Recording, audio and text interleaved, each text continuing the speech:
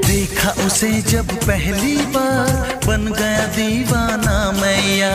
करके अनजाना इकरार ले गई दिल का चैन खरा